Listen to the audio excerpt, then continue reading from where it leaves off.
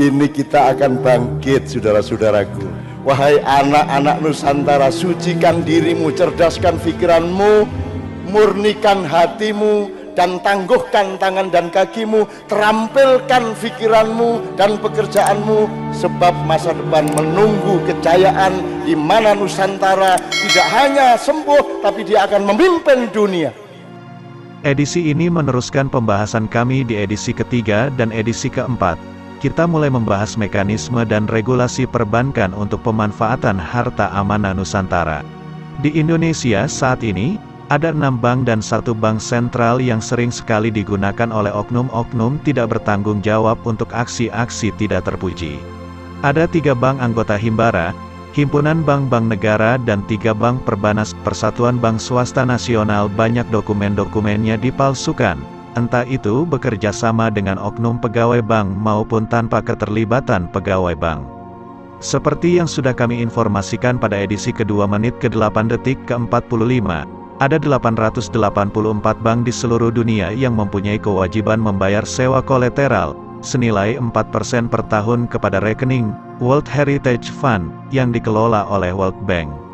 Ke-884 bank ini menyediakan virtual account untuk membayar kewajibannya tersebut. Di Indonesia, enam bank ini termasuk dalam 884 bank yang meminjam aset World Heritage Fund untuk menjamin dana nasabah yang disimpan di bank tersebut. Virtual account ini setiap bulan akan bertambah, pada saat virtual account ini belum jatuh tempo untuk ditarik oleh rekening World Heritage Fund, nilainya bisa sampai ratusan bahkan ribuan triliun rupiah. Ingat, satu virtual account menampung pembayaran sekian puluh bank penyewa kolateral. Inilah rekening yang sering digunakan oleh pihak-pihak yang tidak bertanggung jawab untuk melakukan aksi-aksi tidak terpuji. Banyak masyarakat yang sudah menjadi korban dengan menyerahkan sejumlah dana dengan harapan bisa membiayai proyek-proyek yang diajukan kepada para pembawa kopi bank statement virtual account ini. Ingat juga, virtual account tidak bisa digunakan untuk membiayai proyek apa pun. Untuk tambahan pengetahuan kalian semua, Virtual account adalah rekening penampungan kewajiban bank bersangkutan untuk membayar sewa aset dari World Heritage Fund, bukan rekening giro ataupun tabungan yang mengenal withdraw dan deposit atau tarik dan setor. Virtual account hanya rekening yang akan otomatis mengirim dana yang sudah tertampung ke rekening tak terbatas, World Heritage Fund, atau kita kenal sebagai Infinite Account. Secara mudah kalian bisa memahaminya dari kehidupan sehari-hari. Setiap bulan beberapa kewajiban kalian akan dibayarkan melalui virtual account seperti, pembayaran tagihan listrik ataupun token listrik, itu akan ditampung di virtual account bersama antara PLN, operator telekomunikasi, dan bank. Pembayaran kalian ke rekening virtual itu akan secara otomatis dibagi dan diteruskan ke rekening perusahaan milik PLN, operator telekomunikasi, dan bank.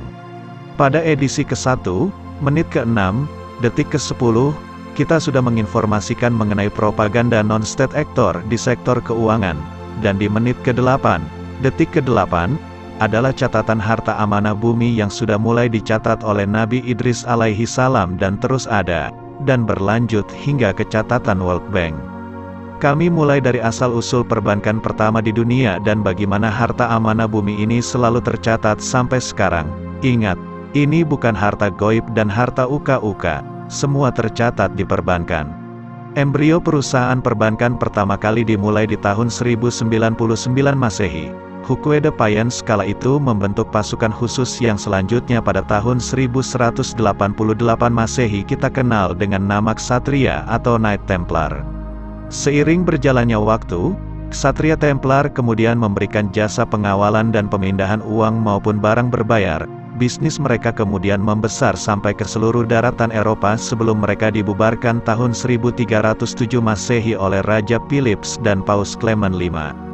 Dari bisnis Ksatria Templar inilah mekanisme pertukaran uang atau money changer mulai dikenal.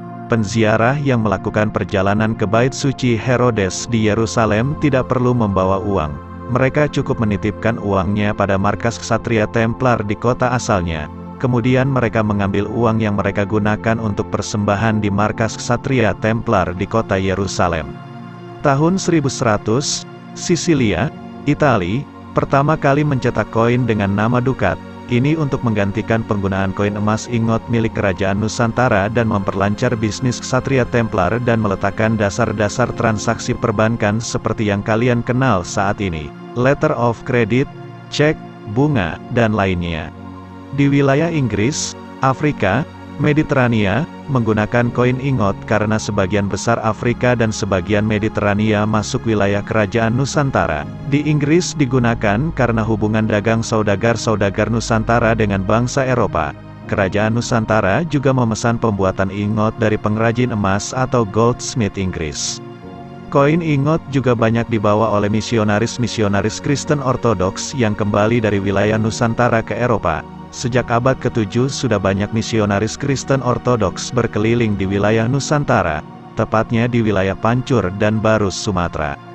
Tahun 1307 karena perintah penangkapan dan pembubaran Ksatria Templar oleh Raja Philips dan Paus Clement V, bisnis Ksatria Templar dialihkan menggunakan nama para bangsawan lokal di seluruh Eropa, seperti Acciaioli, Compagnia di Serlione degli Acciaioli e de Consorti, 1308, Bardi, Compagnia dei Bardi, 1320, Peruzzi, Medici, 1397, termasuk dinasti Fash Zubakrak di Paris.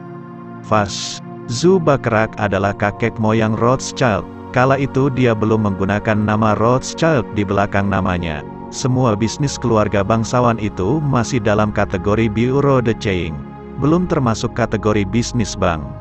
Tahun 1455, Fasch Zubakrak Rothschild pindah ke Frankfurt, Jerman.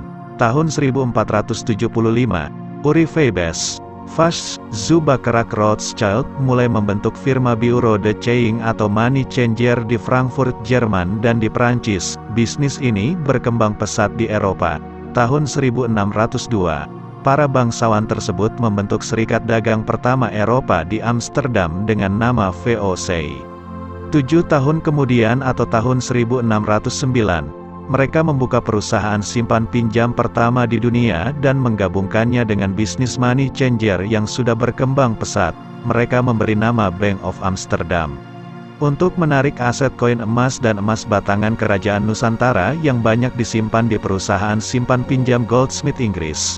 Bank of Amsterdam, kemudian memberikan bunga kepada para pengrajin emas Inggris untuk menyimpan koin-koin ingot milik kerajaan Nusantara di Bank of Amsterdam.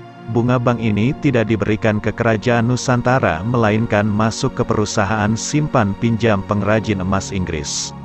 Tahun 1650, Henry Pinckney yang merupakan ketua Asosiasi Pengrajin Emas atau Goldsmith Inggris kemudian membuka Goldsmith Bank di Inggris dengan nama Goslings Bank. Modal awal didapat dari bunga yang dibayarkan oleh Bank of Amsterdam dari koin ingot milik Kerajaan Nusantara yang disimpan di sana. Tahun 1694, Kerajaan Inggris mendirikan Bank of England dan sebagian koin emas Kerajaan Nusantara dipindahkan dari Goslings Bank ke Bank of England. Ini juga sebagai bantuan untuk William III, Raja Kerajaan Inggris yang saat itu memerlukan biaya untuk membangun kembali armada angkatan lautnya setelah kalah berperang dengan Perancis di Perang Beachy Head. Tahun ini juga tercatat bahwa Kerajaan Inggris pertama kali mencetak uang kertas. Sebagai tambahan pengetahuan kalian, sampai saat ini ada 30% saham Bank of England yang tidak bisa diungkapkan ke publik siapa pemiliknya. Di tahun 2009, Kementerian Keuangan Inggris meminta pemegang saham misterius dari Bank of England ini diungkap di bawah Undang-Undang Kebebasan Informasi, tetapi undang-undang tersebut tetap tidak berhasil mengungkap pemilik saham misterius tersebut. Kalian bisa cek di Google. Kalian semua bisa melakukan analisa sendiri, siapa sebenarnya yang memiliki saham tersebut. Tahun 1727, melihat kacaunya pencatatan perpindahan aset kerajaan Nusantara, bersama Kerajaan Great Britain dan Kerajaan Perancis. Kerajaan Nusantara membentuk organisasi dengan nama The Olympians. Organisasi inilah yang kemudian mencatat secara rapi semua koin emas dan batangan emas yang dimiliki ketiga kerajaan ini dan perpindahan-perpindahan yang dilakukan oleh pihak ketiga. Kala itu, aset emas ketiga kerajaan ini yang paling besar di dunia terutama milik Kerajaan Nusantara karena harta amanah bumi berada di pengelolaan Kerajaan Nusantara. Hal ini juga yang non-state actor sembunyikan dari publik. Sampai sekarang, Kerajaan Inggris, Vatikan, Swiss dan World Bank mengakui keabsahan dokumen-dokumen yang dimiliki The Olympians. Oleh karena itu harta amanah Nusantara tetap aman tersimpan sampai saat ini. Kami sangat kaget ketika diberi izin untuk mengungkapkan hal yang paling rahasia ini oleh pemegang amanah. Beliau memahami bahwa hal ini harus diungkap supaya kalian semua tahu perjalanan harta amanah Nusantara secara berurutan dari awal hingga akhir.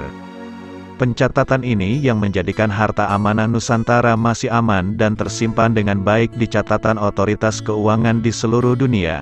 Sampai sekarang hak rakyat Nusantara masih aman tersimpan di bank di seluruh dunia.